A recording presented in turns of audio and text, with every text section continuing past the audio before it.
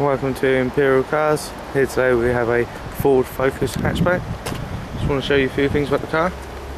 First of all, absolutely immaculate paintwork, no dents or scratches whatsoever.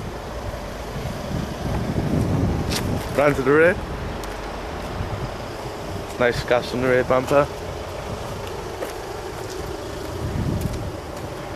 Again down the passenger side. Once again, really tidy, looks after the car. Back round to the front. No stone chips on the front bumper. Or on the nose of the bonnet either. And lastly, I want to show you the immaculate interior. No rips or tears on the seats. No cigarette bands. No signs around the bolsters.